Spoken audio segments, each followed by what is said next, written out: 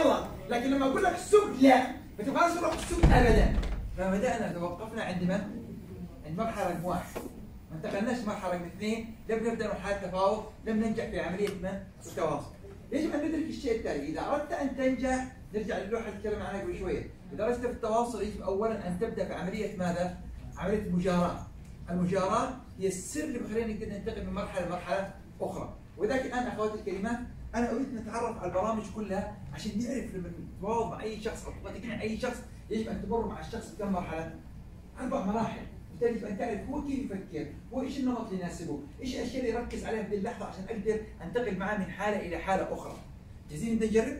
ماذا سنفعل؟ عندنا الجدول هذا موجود، راح طلعوا الجدول وأنا حطيت لكم النسختين، نسخة الجدول فقط في جروب قدامكم ونسخه في الجدول موجود في الأسفل فراغات، إيش الفراغات؟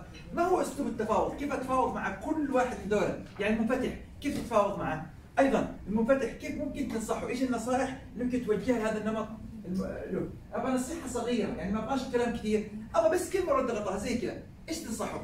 جاهزين نبدا؟ هذا الآن التمرين هذا بنسويه خلال كم؟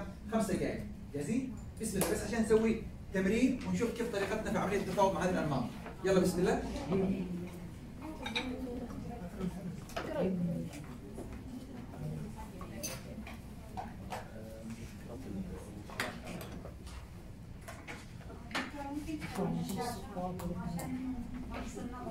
ولا يهمك وهذه الشجرة